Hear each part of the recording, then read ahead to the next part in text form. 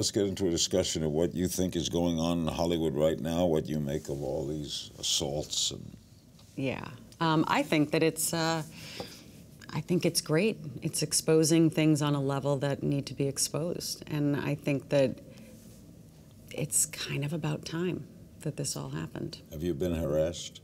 I mean, I've been harassed. I'm a woman. I don't think there's any woman who hasn't been harassed. Um, not, I mean, in this business, I've really, since this has all come up, I haven't had, um, to the degree of what these women who've come out, I don't haven't had anything close to that. So there would be nothing reportable? No, there's nothing reportable. Not in this career, but as a woman, for sure. Um, I've had my own experiences. Are you shocked? No, no, no. I mean, this is something that everyone's known.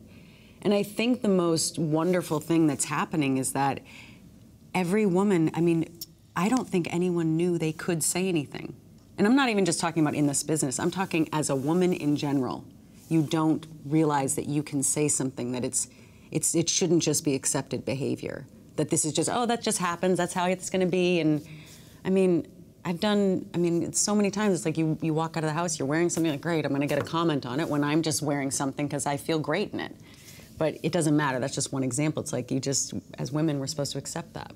What do you make of the response, though? Uh, banding together, men getting fired mm-hmm. almost immediately. I think that when there's any sort of big movement or change, that it's going to swing very far in one direction. And um, that's good because I don't think that things will change if it doesn't. If we don't go to the drastic measures, or drastic measures, if people want to call it that, um, it's kind of just the right thing to do. You think it's a tough time that decent guys maybe don't even know what to say now. For sure.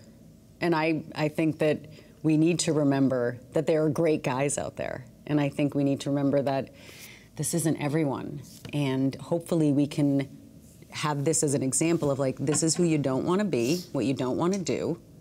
And that, well, let, us take a change. simple thing. Let's say you're auditioning for a big movie. Mm-hmm. And the director says, I like the way you worked. Let's have dinner. Is that wrong right now? Well, maybe right now it's a little. Let's have dinner. He, could, he couldn't. I don't think he could ask you that now. Probably not. It would depend on what the intention was there. And how would we know until you had dinner? I mean, for me, I can just tell by looking at someone and how they say it exactly what the intention is. Watch new episodes of Larry King Now Monday, Wednesday, and Friday on demand on Ora TV and Hulu.